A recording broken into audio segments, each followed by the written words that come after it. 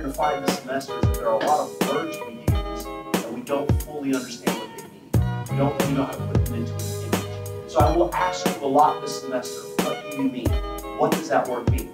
Not in order to be a jerk, but in order to call you to think a little more deeply. Because the more deeply you're able to think, the better you, I feel you're going to be able to